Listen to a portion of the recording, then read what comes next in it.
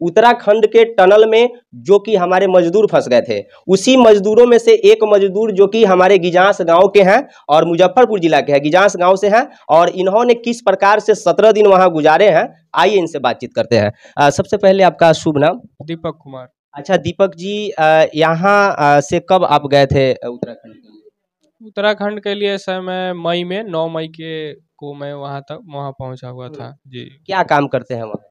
वहाँ मैं sir boomer operator हूँ। अच्छा ऑपरेटर यानी कि गाड़ी चलाते हैं कुछ? ये एक मशीनरी होता है। जो टनल में बहुत ही इम्पोर्टेंट होता है उसी का ऑपरेटर में। टनल के अ, अंदर आप लोग कितने तारीख को गए?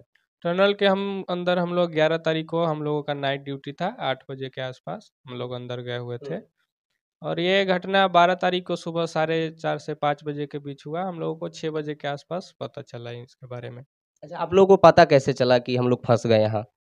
पता सर कुछ वर्कर लोग जो आगे काम कर रहे थे उन्हीं के द्वारा पीछे हम लोगों को बताया गया। जैसे ये घटना 270 के आसपास हुआ सो 270 मीटर पे। हम लोग उस टाइम 2300 मीटर पे काम कर रहे थे। जो जो पीछे वर्कर लोग थे उनको वो लोग हमको बताने आगे गए तब हम लोगों को पता चला। जी। अच्छा तो जब आप लोग वहाँ फंस गए तो काफ़ी वहाँ तो अंधेरा ऑलरेडी रहती है? नहीं अंधेरा तो ऐसे टनल में रहता है पर लाइट का वहाँ व्यवस्था था। जहाँ पे ये कोलेप्स हुआ ना वहाँ पे इलेक्ट्रिक केबल जो अंडरग्राउंड किया हुआ था तो लाइट का प्रॉब्लम नहीं हुआ हम लोग को। ठीक है उसके बाद जब फंस गए आप लोग तो फिर आप लोगों का भोजन वगैरह फिर यहाँ ऊपर से फिर नीचे आप लोग के पास कैसे जाता था? नीचे अंदर में तो सर हम लोग को एक दो दिन प्रॉब्लम हुआ क्योंकि उस टाइम हमारे पास कोई कांटेक्ट करने एक दो दिन आप लोग कैसे रहे? एक दो दिन तक सर बारह पंद्रह घंटा तो हम लोग इसी में निकल गए कि बाहर कैसे कांटेक्ट किया जाए।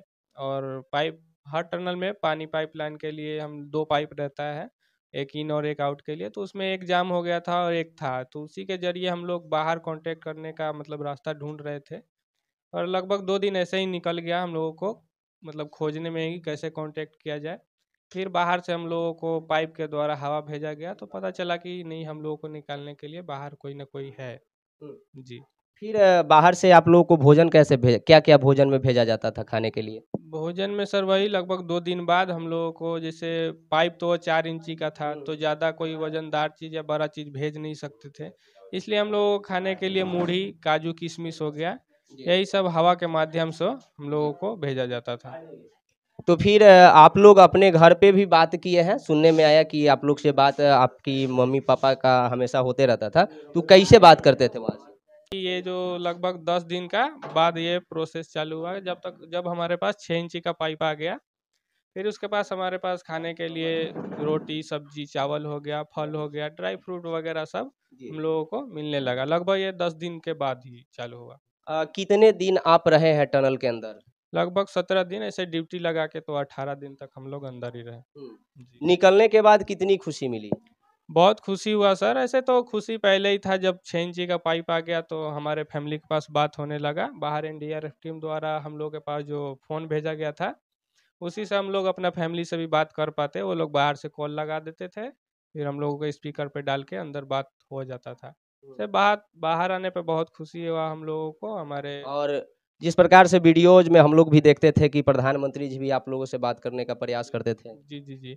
मोदी जी से सर बात तो हमारा चिन्याली में वही मेडिकल में हुआ। मेडिकल होने के बाद हम लोगों को एक रूम में बैठाकर प्रधानमंत्री जी से बात कराया गया। वहीं पे हम लोगों का हालचाल पूछा गया। सब लोगों को सभा से भी मिला कि आप लोग को साहस को सलाम है। अच्छा पूरे मामले में आप लोगों को निकालने में सब सबसे ज़्यादा अगर धन्यवाद किसी को देना चाहते हैं किसको देना चाहते हैं? सर, निकालने में तो वैसे सब लोग लगा हुआ था, गवर्नमेंट का आदमी हो गया या फिर हमारा कंपनी और एस डी आर टीम हो गया। और रेड माइनिंग वाले का बहुत बहुत धन्यवाद। उनके द्वारा मतलब अगर जहाँ सभी मशीनरी फेल हो गया, वहाँ पे उन लोगों द्वारा काफ़ी अच्छा काम किया गया। इस वजह से हम लोग और जल्दी निकल पाए, नहीं तो शायद और लेट होता निकलने में। तो यह दीपक हैं और जो कि गिजास से आते हैं और इन्होंने उत्तराखंड के टनल में फंसा था और सत्रह दिन वहाँ रहा है। और सत्रह दिन के बाद आज अपने घर पे आए हैं तो कहीं ना कहीं मौत को मात दे कर के दीपक आज अपने गाँव गिजास पहुँचे हैं। तो वीडियोज़ को ज़्यादा से ज़्यादा शेयर करिएगा और आगे तक पहुँचाने का प्रयास कीजिएगा। जय हिंद, जय बिहार।